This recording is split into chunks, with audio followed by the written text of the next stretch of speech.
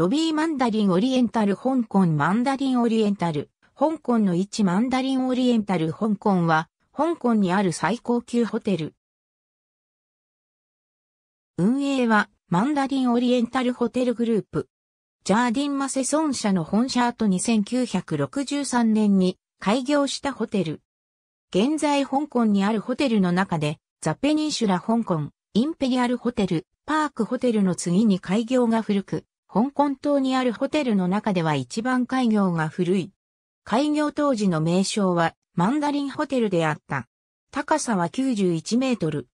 同ホテルは香港の政治、経済の中心地である中間地区にあるためビジネス目的での宿泊客の割合が高い。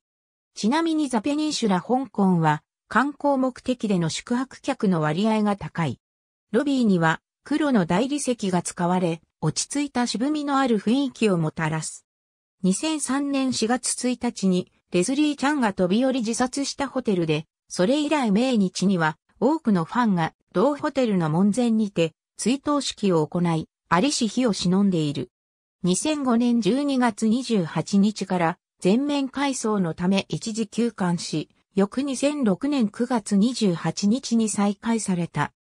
かつては全室にバルコニーがついていたが、レズリー・チャンの自殺により重要視された安全性の確保や香港の他の最高級ホテルとの競合が難しくなり、客室を広くする必要性が生じたため、バルコニーがなくなった。